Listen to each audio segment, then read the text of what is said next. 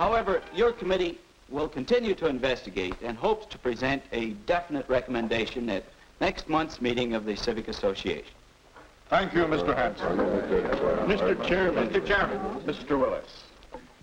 I want to talk about, uh, I think we need a playground here on the west side. Uh, we need it because, uh, because we need a place for our boys and girls to play.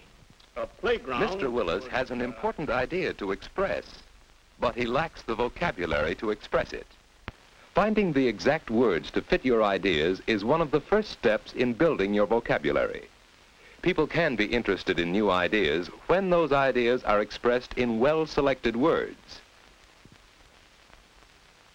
This use of exact words to communicate your ideas applies to written words as much as to spoken words.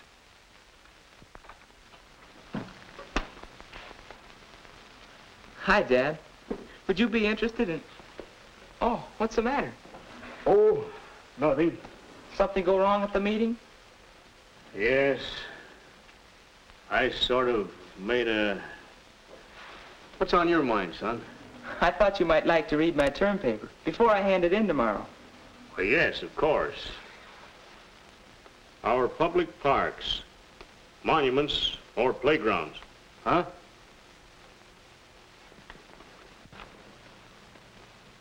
Much of the juvenile delinquency in our community can be traced to our lack of public playgrounds and our lack of a planned recreational program.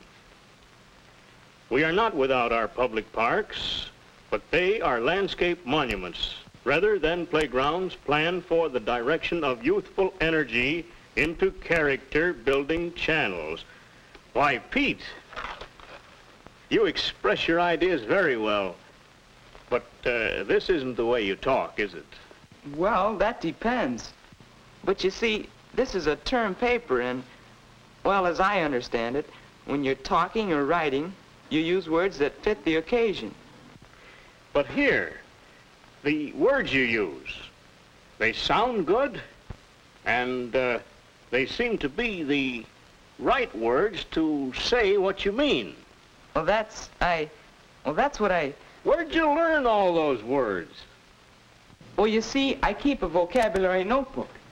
It's a good way to learn new words to increase your vocabulary, so you can express your ideas better. Whenever I come across a new word, reading or listening to someone, I write it down. Later, I put it in this notebook. Let's see. I write down the pronunciation and the definitions of each word, and then some synonyms.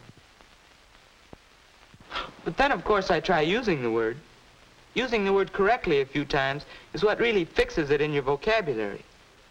And a good working vocabulary helps you to be more explicit. Well, you certainly surprised me with your vocabulary. Yes, indeed. Be more explicit. So Mr. Willis began a vocabulary notebook in a business-like way. First, he considered the context in which the word was used. Now, where did I hear that? From Mary. She was talking about redecorating this room. Dear, I think we ought to put a valance over the window. It would make it more dramatic. Don't you think a valance would be effective? Hmm. Valance must be some kind of decoration.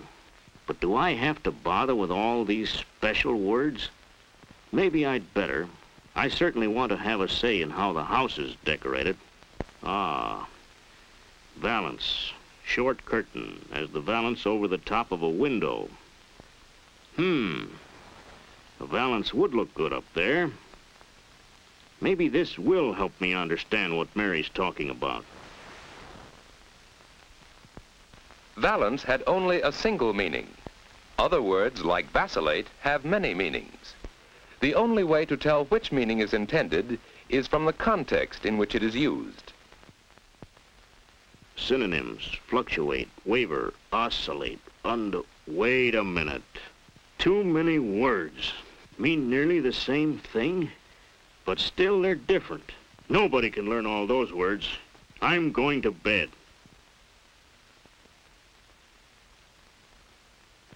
But next morning, Mr. Willis found he couldn't escape unfamiliar words when his wife called.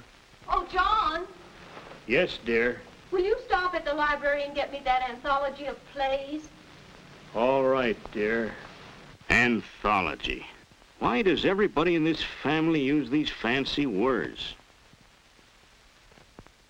In the morning newspaper, he found words that looked familiar enough, yet when he studied them, their meanings weren't explicit. Even in his work, he began to be aware that he used words that he could not define precisely. That it is not feasible to allocate necessary production facilities. Feasible. Allocate. Excuse me, Mr. Willis. There's a gentleman here from the ABC Printing Company. He wants to discuss their new electrotyping process with variable type fonts. Um, I'll tell him you're busy to come back later. Anthology. Feasible. Ultimatum. Electrotyping. Allocate. Anthology. Feasible. Ultimatum. Electrotyping. Allocate. Anthology. Feasible. Ultimatum. Allocate. Electrotyping. Feasible. Anthology. Allocate. Feasible. Allocate. Feasible. Explicit.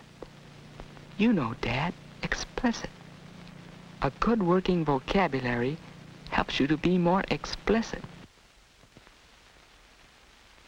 Well, I guess I need this. Anthology. An anthology of modern plays. This is the book Mary wanted. Oh, so that's what an anthology is. A collection. Now, what else came of my trip to the library? Each of us has certain interests which we need to share with others. If we know the special vocabulary, we will understand what people are talking about, and other people will understand us. This book will help Mr. Willis have a say in the decoration of his home. This book on the fundamentals of printing will help him in the conduct of his business. Books on special interest subjects help us build the vocabulary we need to talk the language of others. And that's not the only language I'm going to talk. At the next meeting of the Civic Association, I'm going to sell my idea or my name isn't Willis.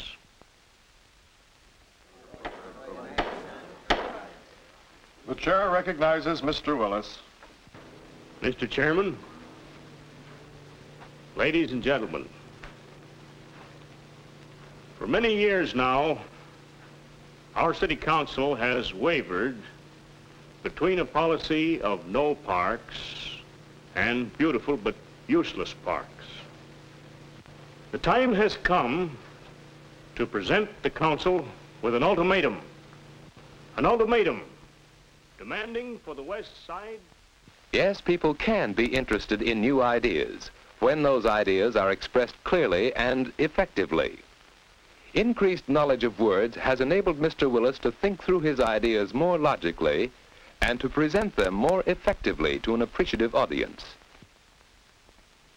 We will show them that it is feasible, that the city budget is nothing more or less than a plan for spending our money.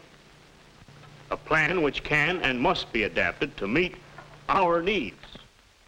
Words that we choose carefully to say what we mean, choose for the audience and the occasion, help us gain support for our ideas.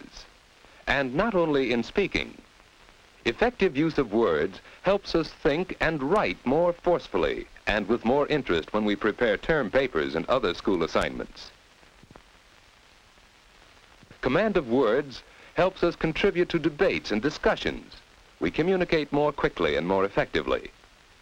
Being skilled in the use of words aids us in selling ourselves when we look for jobs.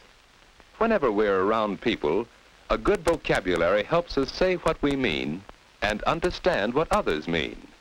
Pete has developed his skill in communication through words, just as Mr. Willis has, just as you can, by being alert to words, by using words that say exactly what you mean, by building your vocabulary.